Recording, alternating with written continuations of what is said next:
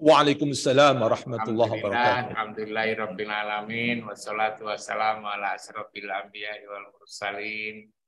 Sayyidina wa maulana Muhammadin wa ala alihi wa sahbihi ajmain. Nama ba'du.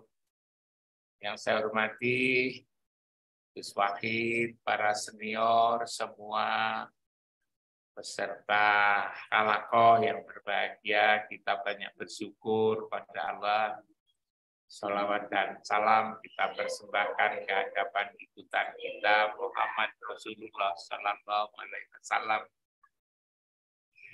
Uh, saya kira diskusi ini menarik karena sebentar lagi kita menjalan melaksanakan puasa di bulan Ramadan ini.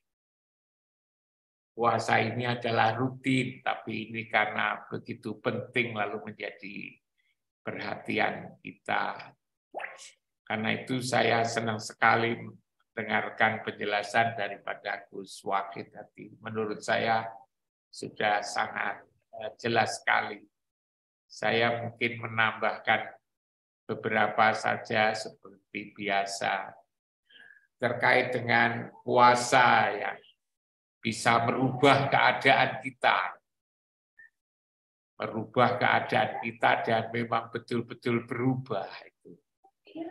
Saya ingat hadis Nabi kamso imin laisalahu min siamihi ilal ju wal atos bahwa banyak orang yang berpuasa tapi tidak mendapatkan apa-apa dari puasanya kecuali Eh, lapar dan dahaga.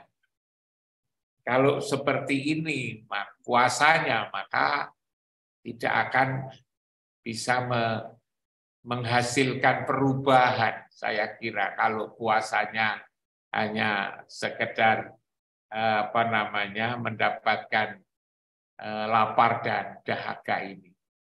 Nah, kalau kita Eh, kalau kita bertanya mengapa puasa sampai hanya mendapatkan lapar dan dahaga, mungkin karena kurang tepat yang dipuasakan itu. Pada umumnya memang puasa itu hanya dimaknai dari sisi syariahnya, ialah mencegah makan dan minum hubungan suami istri di siang hari kalau hanya itu sebetulnya hanya puasa dahir. Dahirnya puasa tetapi batinnya itu tidak berpuasa. Padahal sebenarnya yang justru harus dipuasakan ini adalah batinnya itu. Sama dengan yang diseru untuk berpuasa itu kan iman sebetulnya. Iman itu apa? Nah, ini yang memang perlu harus digali. Iman itu apa? Amana yu'minu imana. Orang mengartikan iman itu percaya. Kalau iman itu dimaknai percaya, percaya itu kan kata kerja. Sementara iman kan kata benda, berarti tidak sekufu, seimbang itu. Kalau itu kata benda bukan percaya artinya, tetapi adalah kepercayaan. Kepercayaan siapa? Kepercayaan Allah yang ada di dalam diri semua orang. Dalam diri semua orang itu kan ditiupkannya ruh pada saat kita umur 4 bulan 10 hari. Dan ruh itulah sebetulnya kepercayaan Tuhan, kepercayaan Allah yang ada pada diri kita masing-masing. Makanya roh itu disebut iman. Roh itu disebut nur, roh itu juga disebut kitab. Iman kepercayaan Allah inilah yang seharusnya dipuasakan. Mempuasakan apa? Itulah mempuasakan hawa nafsu dunia setan. Itulah lalu kemudian menjadi berat sebetulnya puasa ini. Puasa ini kalau mengikuti hadis Rasulullah sama dengan perang perang besar. Perang melawan hawa nafsu itu kan perang besar. Yang dikatakan ada atuwika nafsuka alati baina jabaika. Hendaknya musuh yang kau kalahkan terlebih dahulu adalah musuh yang ada di dalam dirimu ini. Betapa berat sesungguhnya itu untuk mencegah pekerjaan apa perbuatan mengikuti hawa nafsu itu kan begitu berat. Agar kita tidak menipu, agar kita tidak berbohong, agar kita tidak merendahkan orang, agar kita tidak nyeleweng, agar kita tidak korupsi, itu kan memang bukan pekerjaan ringan. Ini adalah pekerjaan berat karena ini pekerjaan berat, maka harus ada satu bulan khusus untuk melatih. Satu bulan khusus untuk melatih agar kita benar-benar bisa memerangi hawa nafsu yang ada pada diri kita ini. Kalau negeri kita sekarang ini seperti ini, banyak orang yang tidak merasa tentram, merasa senang karena sehari-hari melihat di kanan kiri ada penyimpangan macam-macam itu kan. Bahkan lalu kemudian ada kolusi, korupsi, nepotisme sejak dulu ini kan. Ini kan akibat daripada penduduk di negeri ini belum mampu sepenuhnya untuk mencegah apa kemauan hawa nafsu ini. Kemauan hawa nafsu inilah yang sesungguhnya yang menjadikan kita tidak maju, banyak kemiskinan, banyak kebodohan ini kan karena banyak hawa nafsu ini. Karena itulah maka yang sumber hawa nafsu itu ada pada diri ini supaya dilatih, training satu bulan. Training satu bulan ini bagaimana agar kita selama satu bulan bisa memenangkan, bersama-sama memenangkan peperangan besar melawan hawa nafsu ini. Karena itu maka kalau judul uh, diskusi kali ini bagaimana puasa yang bisa membuat perubahan besar dalam kehidupan pribadi, keluarga, masyarakat, dan bahkan negara ini. Memang ini betul-betul kan bukan bukan hanya sekedar slogan.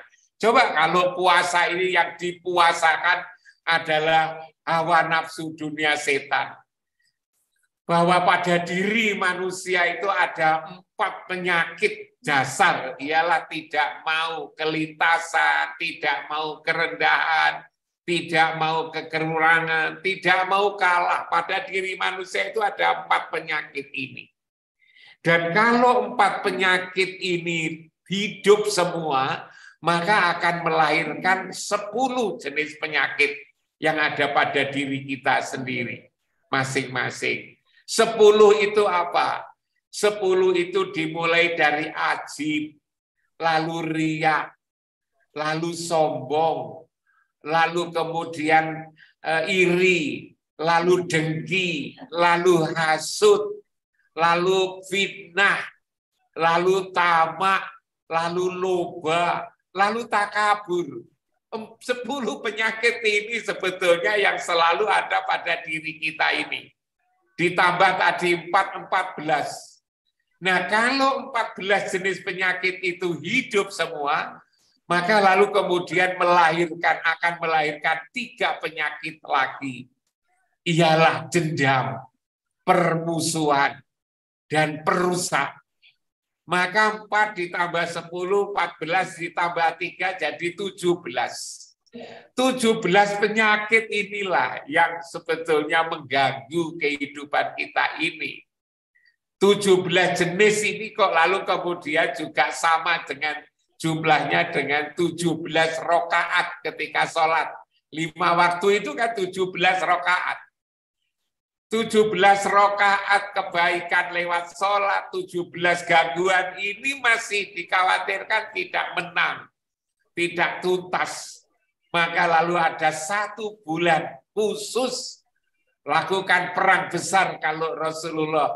Perang fisik itu perang kontak, perang badan, perang Rusia apa namanya ini adalah perang kecil. Ukraina itu perang kecil tapi ada lagi perang besar ini yang hendaknya dilakukan pada bulan puasa ini ialah mematikan 17 jenis penyakit.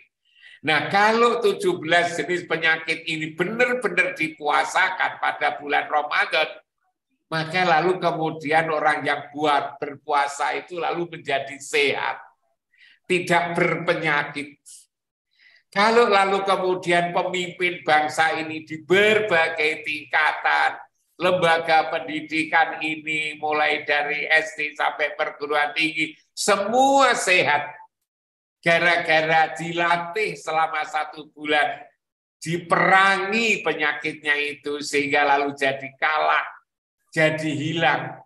Maka penduduk negeri ini akan menjadi penduduk yang sehat lahir dan batin. Itulah yang disebut la'alakum tatakun itu menjadi takwa. Karena itu memang kalau kita malam ini membahas puasa yang bisa membuahkan perubahan besar bagi bangsa ini, maka ya tidak cukup hanya puasa dari sisi dahir, puasa dari fisik, kalau hanya puasa dari dahir, dari fisik, ya hanya sekedar menjadikan uh, para ibu rumah tangga atau pembantu istirahat masak untuk makan siang. Hanya itu saja istirahat bekerja untuk menyiapkan makan siang yang tidak akan dapat apa-apa kamin soimin laisalahu min simayamihi ilal wal atos itu tidak melakukan perubahan baru menjadi kekuatan penggerak itu manakala puasa kita itu adalah mempuasakan hawa nafsu. 17 jenis penyakit yang ada pada diri kita masing-masing yang itu memang sangat berat. Perang besar ini memang sangat berat.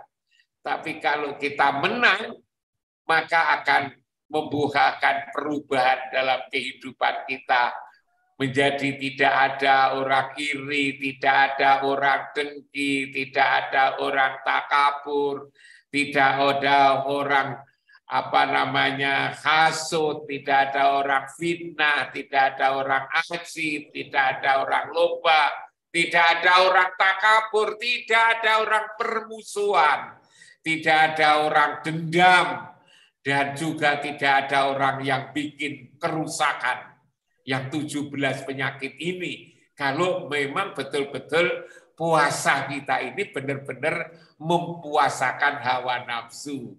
Bisa membuat negeri kita, kehidupan kita damai. Hanya lewat puasa. Apalagi lalu dikatakan puasa itu adalah Ah, bulan rahmat, bulan makfirah, ikut minanar, menjauhkan dari api neraka.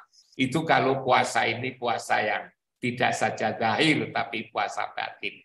Saya kira itu Gus Wakil luar biasa. Saya mudah-mudahan bisa dijadikan bahan pertimbangan dan bahan renungan. Puasa amin, yang amin. kita laksanakan ini bukan hanya mencegah perbuatan makan minum yang memang itu dari aspek syariah tapi masuk pada wilayah hakikat. Ya Mohon maaf. Assalamualaikum warahmatullahi wabarakatuh. Waalaikumsalam.